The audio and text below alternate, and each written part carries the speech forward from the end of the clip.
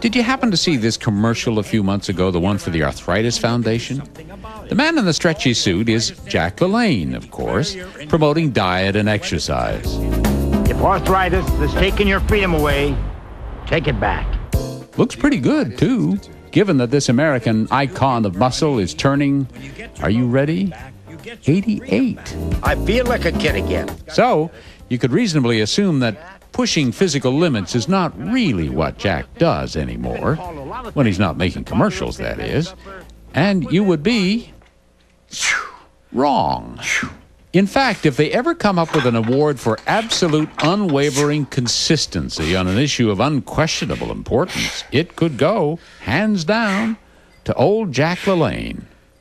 With all this energy you got, how old do you actually feel, Jack? I don't feel any different than I did when I was 21 or 25 or 30. Seriously, you don't feel any different? Because I practice what I preach. I can't do the things I used to do. I'm not as strong as I was and with the endurance I have. But I'm telling you, I'm pretty spry for 88. So we began to poke and prod as if he were some kind of experiment. A lot of people, once they start to get older, have things like strokes and heart attacks, high blood pressure, arthritis, those kinds of diseases that are associated with age. Have you had a heart attack? I can't afford to, to wreck my image.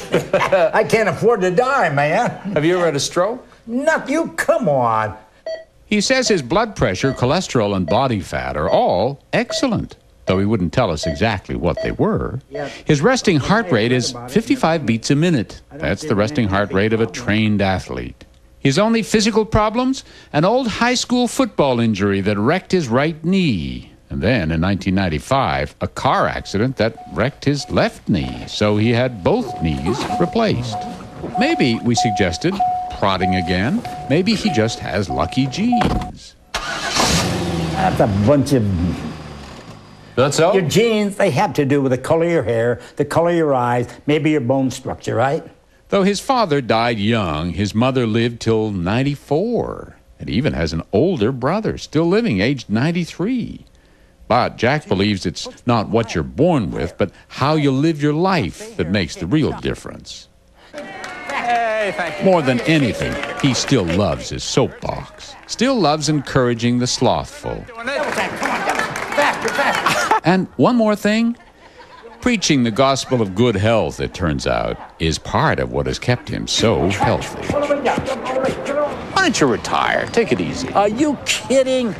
Retirement, man. I thought you were my buddy and you liked me. Retirement is a death knell. That's why so many people die prematurely. Retirement, that's the killer. That's when you should start living. Which he is certainly doing. So, can we come see you when you're 100? I hope so. I hope you're around. Yeah, I worry about me more than I worry about you, frankly.